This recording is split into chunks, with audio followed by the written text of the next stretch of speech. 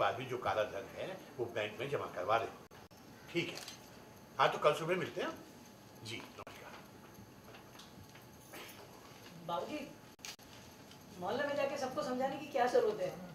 सब अपना अपना देख लेंगे। क्यों बेटा?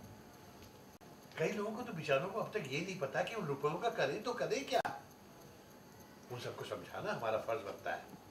अच्छा सुनो।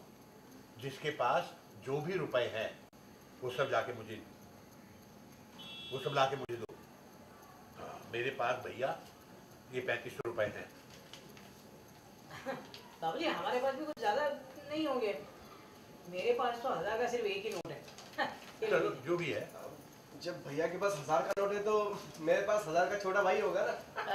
आ, ये लीजिए पाँच सौ रुपये बाबू जी तुम्हारे पास? अरे कोयल तुम अपनी दाल की बढ़ने की पेमेंट दे दो बाबूजी को। जी वो बाबूजी ये ये साढ़े नौ हज़ार।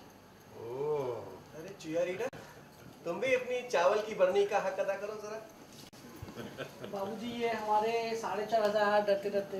हरिओम हरिओम तो तुम लोगों ने अपनी बचत बर्नियों में छुपाई हुई थी हैं?